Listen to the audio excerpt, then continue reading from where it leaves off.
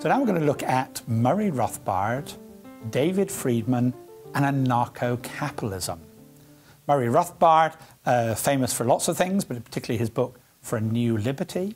And David Friedman, who's Milton Friedman's son, wrote a book called The Machinery of Freedom.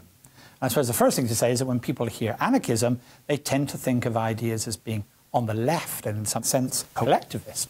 But there is a school of thought within classical liberal thought who are anarchists who base their ideas on capitalism, and that's what we're going to, to have a look at. Uh, Murray Rothbard, he defended uh, his position. He based it on this idea of natural rights, in that sense, similar to Rand uh, and Nozick and other believers uh, in it. But he was also strongly influenced by Mises, and he developed what he called the non coercive axiom, the non coercive truth. It is always wrong to use force except in self defense. It's always wrong to use violence except if you're protecting yourself against somebody who's trying to use violence against yourself. He says that's the principle we should use to establish what government uh, should do. David Friedman, from a different point of view, he very much follows the same methodology of his father, the Chicago School of Empirical uh, Analysis. He says, we answer this question by comparing what's the relative efficiency of leaving things to the market and what's the relative efficiency of leaving it to the government. Two very different sorts of methodologies. One clearly based on natural rights, one clearly based on uh, consequences. Why do they think the government should be limited? In fact, they go beyond that. They believe there should be no state at all. Well, that raises the question about what is a state? The classic definition of a state comes from Max Weber, the German sociologist. A state is an institution which claims a monopoly of the legitimate use of force over a given territory. So within the society the government covers, nobody else is allowed to use force. Only the government should be allowed to use force. Rothbard criticized this because he said, what does governments do? They violate our rights. They obtain what they want through coercive means. If we don't do what the government wants, they will throw us in prison. So, for example, he says that taxation is theft. If, if somebody came along and took 25%, 40% of our income and said, if you don't give it to me, I'm going to put you behind a jail, we would call that person a thief, a criminal.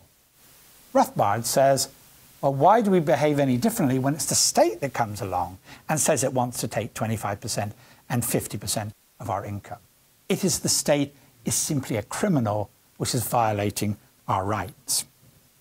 David Friedman, taking this efficiency approach, he says the state is inevitably inefficient. All right, we carry out the empirical approach, we measure government efficiency versus market efficiency, he concludes the market is always more efficient than government. Whereas his father saw that Milton Friedman saw there were some circumstances where that wasn't true. He argues empirically it's always true.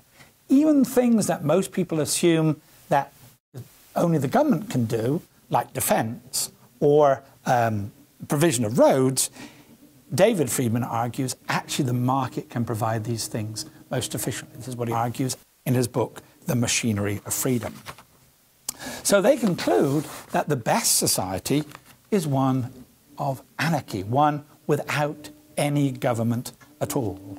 So government is both illegitimate, it has no specific moral claim on us than any other single individual, and it's also inefficient. It cannot provide more efficiently the goods and services that the market is able uh, to provide.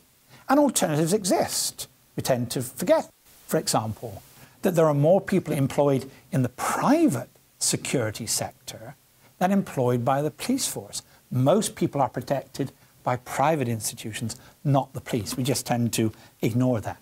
We ignore the fact that many disputes between businesses don't go towards state courts. That in fact, many business disputes are settled in private arbitration courts because state courts are so slow, they're so inefficient, they're so unreliable, many businesses would prefer to use private arbitration agencies uh, to do this. So they think that there are other alternatives to the state provide these goods. And they also argue all right, suppose you do believe in something like a minimal state. If you create a minimal state, it will never stay minimal, it will be unstable. And it will either have to go in one direction, which is the most likely, it will start as a minimal state and then it will grow and it will grow and it will grow and it will grow, or, which is what they favour, let's go to anarchism of having no state whatsoever.